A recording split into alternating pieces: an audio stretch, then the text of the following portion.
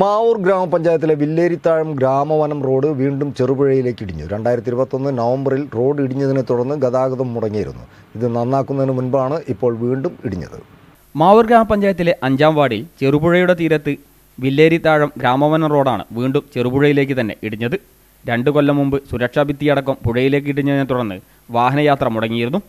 കാലവർഷത്തിൽ വീണ്ടും ഇടിയുമെന്ന ആശങ്ക നാട്ടുകാർ ആഴ്ചകൾക്ക് മുമ്പ് പങ്കുവയ്ക്കുകയും ആക്ഷൻ കമ്മിറ്റി ഉണ്ടാക്കി പ്രക്ഷോഭം തുടങ്ങുകയും ചെയ്തിരുന്നു. നാട്ടുകാരുടെ ആശങ്ക പോലെ തന്നെ കഴിഞ്ഞ ദിവസം കനത്ത മഴയിൽ വീണ്ടും റോഡ് ഇടിയുകയും ചെയ്തു. രണ്ടായിരത്തി ഇരുപത്തൊന്ന് നവംബറിലാണ് റോഡ് ആദ്യം ഇടിഞ്ഞത്.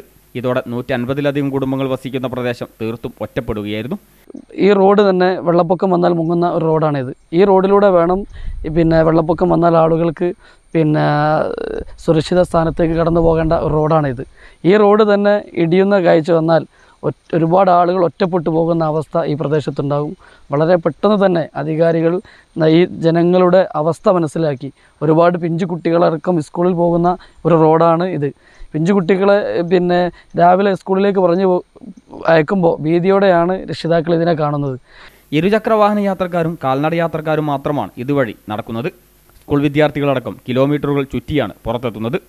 സുരക്ഷാ ഭിത്തി കെട്ടണമെന്നാവശ്യപ്പെട്ട് ഗ്രാമപഞ്ചായത്ത് ഭരണസമിതി ജില്ലാ കളക്ടറെയും സമീപിച്ചിരുന്നു. തുടർന്ന് കോഴിക്കോട് മേജർ ഇറിഗേഷൻ വകുപ്പ് ഉദ്യോഗസ്ഥർ സ്ഥലം സന്ദർശിച്ച് എസ്റ്റിമേറ്റ് തയ്യാറാക്കുകയും ചെയ്തിരുന്നു. എന്നാൽ പ്രവൃത്തി തുടങ്ങാൻ ഇതുവരെ നടപടിയായിട്ടില്ല. News bureau Mavoor.